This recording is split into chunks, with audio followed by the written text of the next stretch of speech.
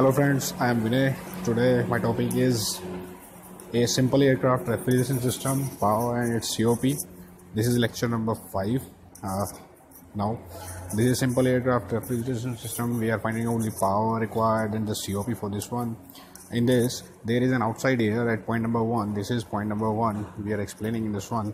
This is point number 1. This is ambient air, outside condition at a very low pressure and at a very low temperature. After this there is a ramming process will takes place from point number 1 to 2 this is ram air. Due to ramming process there is isentropically increase in pressure and temperature both. 1 to 2 process. The process one number 1 1 to 2 there is an isentropic process due to which there is increase in pressure and increase in temperature both. The outside air is at a very low temperature and pressure.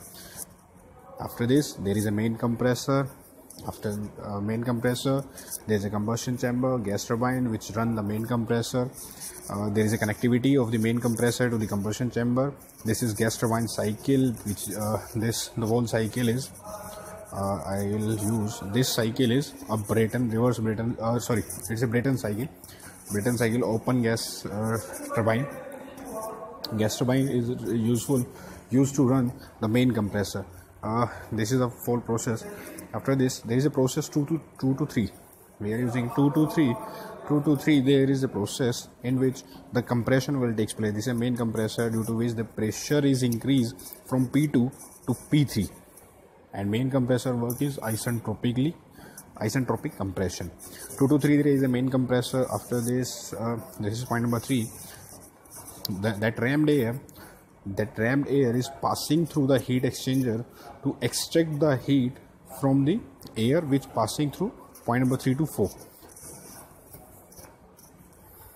this is the circulation of air and that air the red rammed air at a very low temperature will extract heat from these tubes which extract heat from these tubes. Uh, in these tubes the air is passing through in these tubes the air passing through and passing through these tubes at a high temperature and the rammed air extract heat from this air to pass it to atmosphere due to which the heat exchanger heat exchanger process will take place. 3 to 4 is a process of heat exchanger. After this 4 to 5 there is a cooling turbine. 4 to 5 point number 4 4 to 5 there is an cooling turbine. In cooling turbine expansion process will take place. Due to expansion there is huge decrease in pressure and temperature. Both the process of expansion is also isentropic. 5 to 6 5 to 6 the point number 5 5 to 6 there is constant pressure heat absorption in cabin.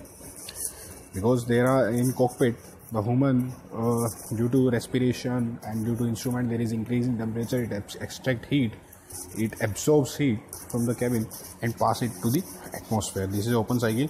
I will i again repeat the whole process. This is point number one ambient air one to two there is ramming effect. Ramming process is isentropic.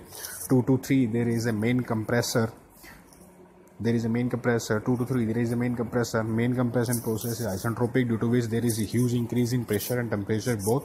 After this 3 to 4 there is an heat exchanger.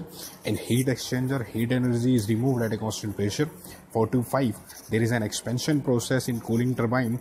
Due to expansion this is isentropic expansion. Due to expansion there is decrease in pressure and decrease in temperature isentropically.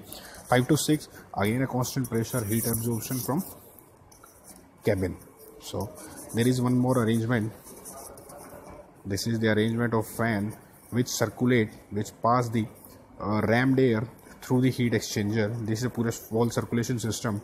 Uh, this fan is connected to the cooling turbine.